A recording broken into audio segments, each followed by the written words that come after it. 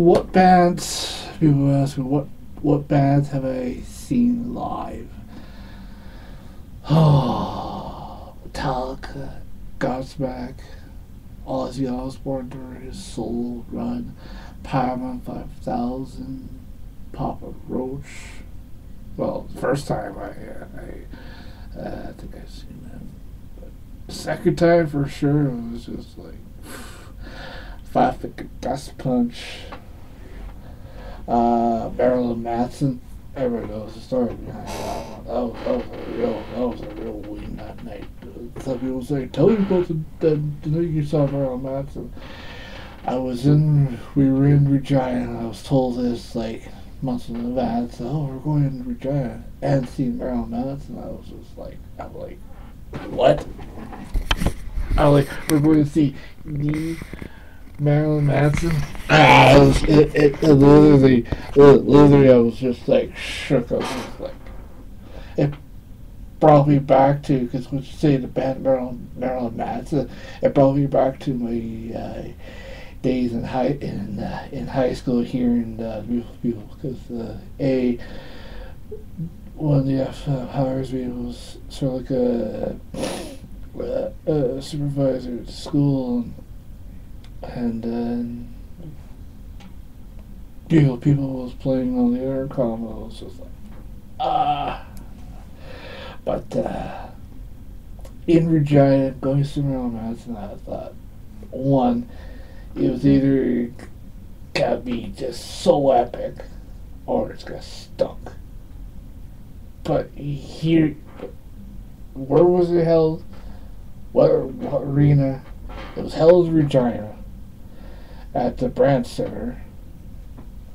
My mind was kind of, oh, it's gonna be right inside the Brandt Center, and the place could fill like nine hundred thousand people. But after hearing the horror stories from the band itself, well, I was just like, oh, forget about it. It's, it's gonna stunk. I know the place is gonna stunk. So walking into this, this little this little corner section of the Brandt Center, and, and I, I, I knew right away it's just like, oh, really got the shirt. It was held this little corner section. There was like these two whatever local bands. I was just like, eh. and then the crowd was just kind of like your not not your typical kind of crowd and then once he he plays his uh, like this weight game. Tell me this, anybody in the comment section down below, anybody who's watching this video, what bands that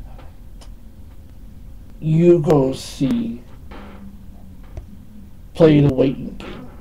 If people don't know what, what the term waiting game is, is that you go see uh, Metallica, for example, and they don't they don't get to the stage at that time, and it's kind of like, well, we're gonna make the fans wait. I'm like, what?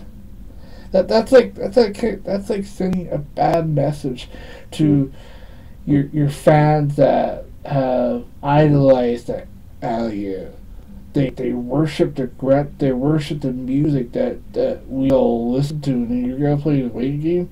That that's not. I'm like, dude, that's not gonna that's not gonna fly. What Marilyn Manson did was sending a bad message to, well, a what he did at diner in Canada here, like two o'clock in the morning, and then well, you know, I think what Marilyn Manson was sending a, a, bad message because you know he's kind of like one of those guys. Well, he's he, he's a good dude, but his persona and, and the way he what he did at at, Brett, at, at, at diner here in Canada it was like two o'clock in the morning. Long story short, there was he made this remark about some young fan and our first one to take a picture with him, so so along the lines and you know and when Marilyn Manson played Regina, and he played his waiting game, five seconds in, mosh pit say, and when I heard the term mosh pit, and I did my research of what a mosh pit concerts are, that was just like horrid. And I being my very first mosh pit scene Marilyn Manson, I was like, get me uh, before, before all makes. And, and even the security at that at that show didn't do for that.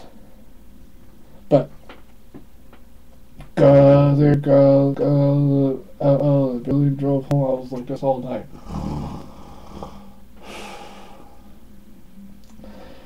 Yeah, so I was singing Metallica's ACDC, Godsmack, uh, Five Death Punch, From Ashes to New, Papa Roach, uh, Ozzy Osbourne, Iron Maiden, uh, Aerosmith, the Joan Jetts of the world, Kid Rock about like two, two times, three, uh, Matt Mays, El Torpedo,